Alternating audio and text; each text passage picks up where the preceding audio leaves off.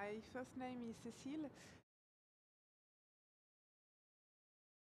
New York, uh, it smells for me like leather. My favorite smell is um, is woods.